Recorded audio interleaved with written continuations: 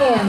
Hey, Good job, good job. Congratulations to the one Hilton Hotels. it's 1-1. Put a volleyball court and a pool. People play volleyball, so they get really active.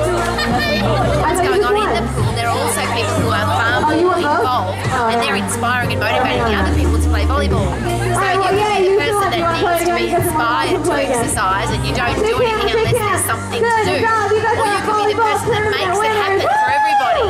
Create the environment for people to exercise, and then you're group, and you'll be inspiring people to be healthy, fit, strong for the rest of their lives,